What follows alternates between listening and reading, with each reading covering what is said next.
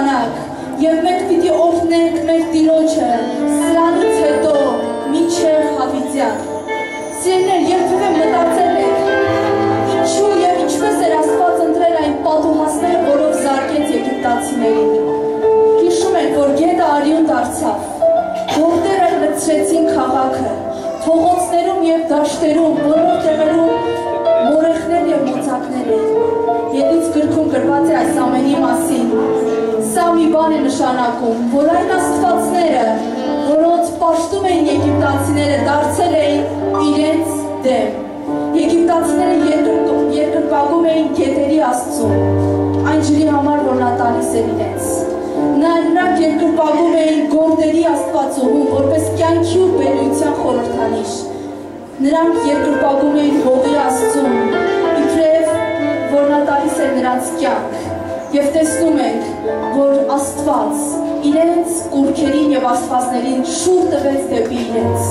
Այսօր ես եւ դու ում ենք պաշտում եւ երկրպագում։ Արդյոք մենք պաշտում ենք միակ ճշմարիտ եւ սքանչելի Տիրոջը Հիսուս